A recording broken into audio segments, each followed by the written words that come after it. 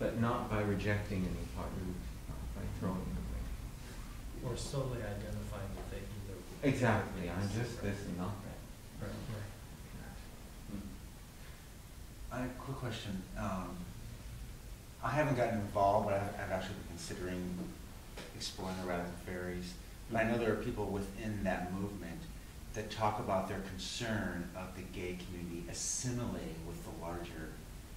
They think, assi- we don't, why should we want to assimilate and like do things and, and be just like them? We are different, we need to accept that. So how do you feel about that? Do you, that, is that? It's true, But isn't that somewhat kind of like, oh, I'm special? only when you put a judgment on it. She- She's different than him, than you, than you, than me. We're all different. We're all unique. We're all individual manifestations of the one. We are all special.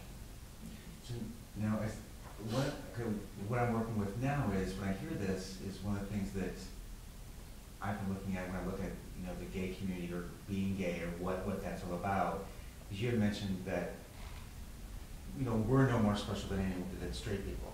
However, when you do just look at the gay community itself as a group of people, it is interesting that a high propensity of those people in that group are sensitive. And the- creative. And the, and creative, that's an area that I'm exploring, is That- creativity, what is it about gay When you go to the, and you may be able to have access to or know this, when you actually look at the psychological numbers in the studies, it's kind of a myth. Hmm. What, what, that we're more sensitive, Oh. that we're more creative, or that when you actually look at the, the studies that are done, it's not that we're more creative or not that we're more sensitive. Mm-hmm. It's that we choose to be in communities that foster that. Mm-hmm. So it's more evident. But I'll tell you, I've been hanging out at a lot of straight bars because I have a friend that we go and watch football together. So we go to the, you know, the sports bars, right? Can't tell you how many straight guys are really sensitive, and I rib them all the time. I rib all the time. It's fun. We have a blast, and they love it because it gives them permission. Yes, Well, that's why I'm so- It gives them permission yeah. to be sensitive, Mhm. and they know it's okay around me. That's why I'm so I think that's confused a with. key right there. But it's we're no more special, and we're no more different than everybody else. That's why I'm so confused by metrosexuals. It because because I, I joke around and say that all the time because it's outside of what we know. Right. Right? Because because gay men have led a revolution for straight men. Mm-hmm. Gay men have made it have given permission for straight men to allow themselves to express their femininity. Mhm. What we classify as that. That's even changing. Gay men can now have nice hairstyles. Straight they can wear good clothes. Good, that's a judgment. They, they right, there you go. Caught myself, right? They can listen to music that they weren't allowed to before. Straight men have can do manicures they and can, pedicures absolutely. and. because gay men made it okay. I um, one of my, my friends is this he's he's Romanian, he's this big guy, and uh, I got him a scarf. He's like he calls me PDP. I'm his gay friend Pete. That's his name. PDP, gay friend Pete. Oh my god, that's so gay. And I'm like, eh, not anymore, you're fine. right? Because we used to identify that an earring here, an earring there, depending what coast you were on, meant you were gay. a scarf, you know, a certain pair of pants or clothing, the way you wore your clothes, all that kind of stuff. We get it out of your head, if I can really encourage you, we are no more special than anybody else. One of the things that was coming to mind, I had this image, was um, a jigsaw puzzle. No two pieces are exactly alike. Uh, they're all very individual, but they all go together in a certain way that makes the whole. Absolutely. And that was something that was coming up when you were speaking specifically. I was like, wow, what an image that came through. So how does that unique piece that you are fit into the picture? Yeah. And it has to be that piece. Absolutely. And the more you claim your true self and your authentic self and you identify with that light, with that heart, that source, the more you're going to fill out the shape of that piece.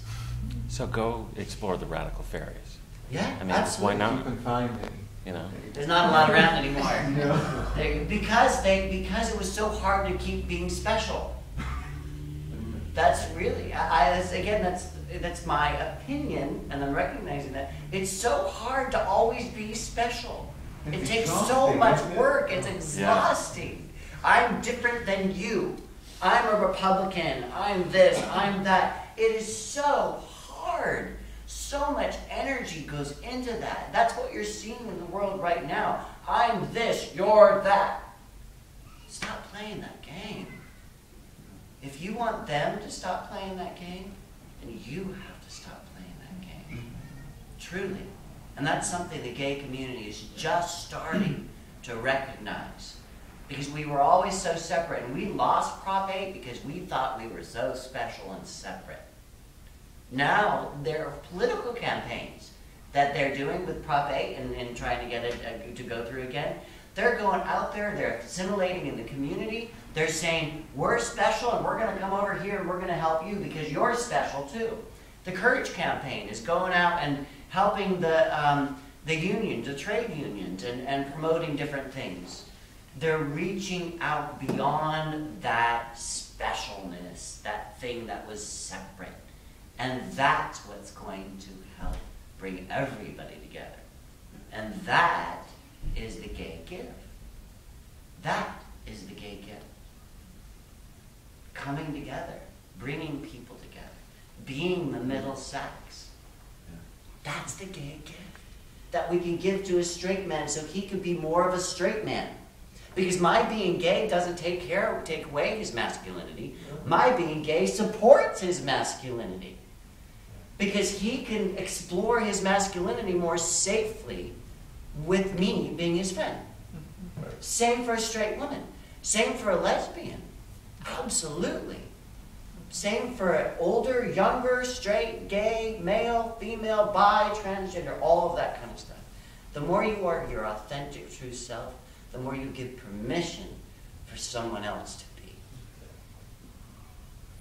There's an interesting uh, flip side, in a sense, to that. Um, I grew up in Vermont, and so Vermont was the first state to allow civil unions, um, which we were pretty proud about. Um, and it wasn't long after that, six months to maybe two years, after the civil union law went into effect, the two gay bars in the state closed.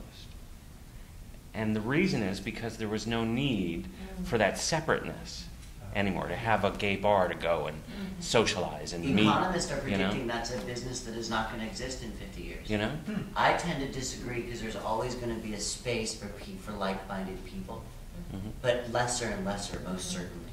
Mm-hmm. I, I found that interesting that And it Vermont may is a. not need to be They a only had bar. two bars And in it the may not be state. like- yeah. Both went to It may not need to be a bar. Well, actually, a trend is that a Yes. lot of gay bars are, a lot of, s- are becoming very mixed. Yeah, absolutely, absolutely. Leather bars don't really exist anymore. There's a handful of them. They don't exist anymore.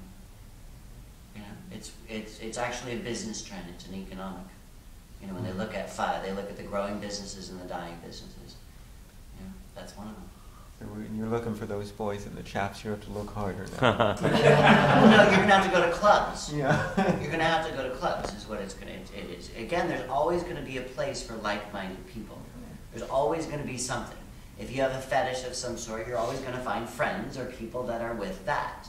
Same with religions. Mm-hmm. Same with whatever it is. There's always gonna be a space for like-minded people.